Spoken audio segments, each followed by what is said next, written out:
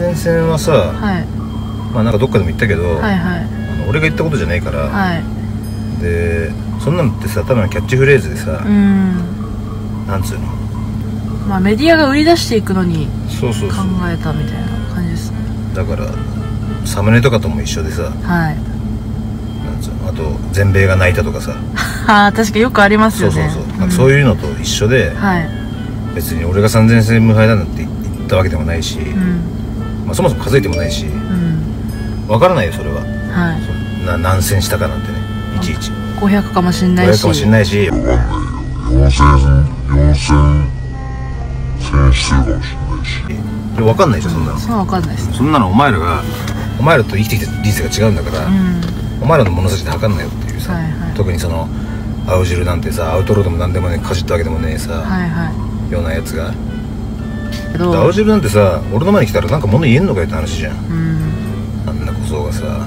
あそうだ。なんか3000戦するには、うん。まあ、無敗かどうか置いといて、うん。3000戦まず喧嘩をするには、2日に1回喧嘩をしたとしても、うん。10年かかるらしいんです単純計算で、うん。だからそんだけやってたら、まあ、10年間かかるわけだからやり始めて23年目ぐらいうん。にもうやっぱ巷で話題になってそれこそまあライジンとか、そういう興行からオファー来るだろ普通。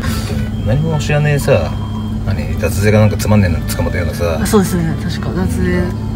そんなさ小僧にさ 嘘つき呼ばわりされて。はいはい。別にいいんだけどいちいち俺もはいはい。特に構わないから、はい。うんただちょっとこれははい。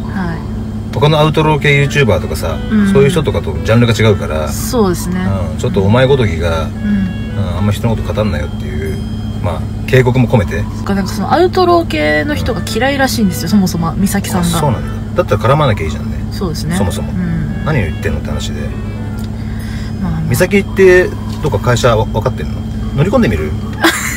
そんな面面白察面白くない？いやその 見学じゃなくてさ。あこんにちはみたいうんい君どういう意図でそんなこと言ったの？とかさ。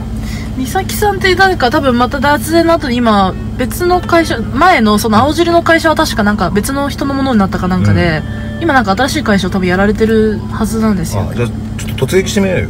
面白いじゃん。こんにちはって、ね最初に。本当に。目の面面と向かって、はいはい。ななんて言うのかさ。どういうつもりで出したのか意図をまず聞くっていううん。ね。感じですかね、まあまあ。ま あなんかねうん。こんなことだから。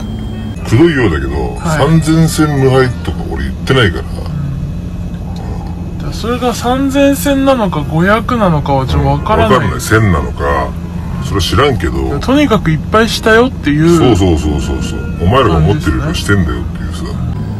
俺言ったじゃん。俺より多分人殴ってる人いないと思うよっていうぐらいやってきた自負があるから。まあだじゃあちょっと、からそんな感じでちょっと美咲さん、はい美咲さん、まあ、ちょっとねあんまりねおしゃべりもほどほどにした方がいいですよはいとい。う、ご自身でもやられてましたもんね。そうですね、まあ、僕はね、アマチュアっていうか、そんな、まあ、遊びみたいなもんなんで、ブレイキングダウン早く出てください出たいですけどね、あの次の大会から入れ墨 OK なんで。あそうなんですなんかいます今なんかちょっと揉めてないですか？か、所沢のタイソンって知ってます、はい。知ってます知ってます。知ってます？あのあんまり知らないですけど見たことあります。あなんか喧嘩が3000戦無敗らしいんですよ。三千戦？喧嘩3000戦ってどうすか？ありえます？ありえない。ありえないですか？だから、そ所沢とタイソンと一回やってみたいなって思うんですよ。いやでもちょっと強いと思いますよ。強いですか？体重違うじゃないですかまあ確かに。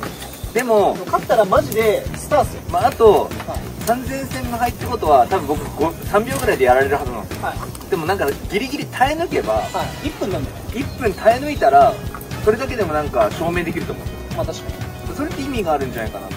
まあ、少なくとも3000戦してるんだったら多分3000人中のトップ10に入りましたから。そうそうそうだね。下に2900人ぐらいに。確かに。確かに強いってことは証明されたんで。確かに確かに確かに。でもその幸澤さんもね出てもらいたいですけどね。そうっすよね。だって証明できますもんね本当に多分強いか強いんだったらめっちゃ面白いと思うんですよ。らでもキックボクシングルールだったらいけそうじゃない？ですまあキックボクシングルールもあるんでやってもいいですねかはやるんだったら。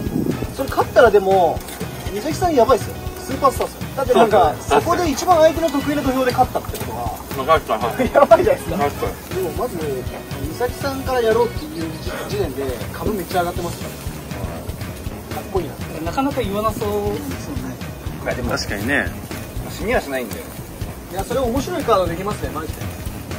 一発ぐらいだったら知らないですよ。そうです知らないです。でまあ一応キックボクシングの経験もありますしね。美咲さんも弱いわけじゃないんで。まあまあまあ、まあ、右ストレートノーモーションでいいの持ってるじゃないですか。ぜひ、所沢さんも出てほしいみたいなさ。所沢さんって言ってなかったっけ？言ってました。そうそう、所小沢さん。沢さんって言ってました。出てほしいみたいなこと言ってたんだけどさ。そうそうそう。だから俺は、一貫して言ってるけど、格闘家じゃないし、はい。格闘技もやってきてないしね。うん。うん。ストリートで喧嘩しかしてきてないから、あの、まあ、その、出てほしいっていう、うん。まあ、その、なんつうんだろう。言葉はまあ、嬉しいというか、朝倉選手にね、名前出してもらえたっていうのそうそうそう。うん。は、ありがたいこと。ありがたいことなんだけど、はいちょっとそこは申し訳ないけど、ご遠慮させてもらいたいなっていう。何俺って。ご遠慮でしょ？だって。おかしかった今い。やいやさっきからちょっと引っ張っちゃってて。思い出し笑いよはい。はい。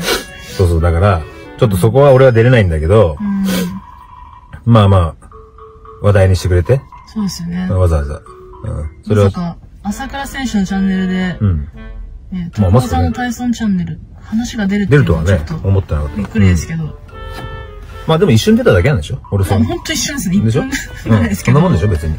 まあでもなんか、見たことはあるっておっしゃってたんで、まあ認知されてるっていうのはすごいなとああ、は思ったんです、ね。認知はされてるんだね。うん。そうそうそう。だから、俺はその、それには出れない。うん。で出る意思がないから。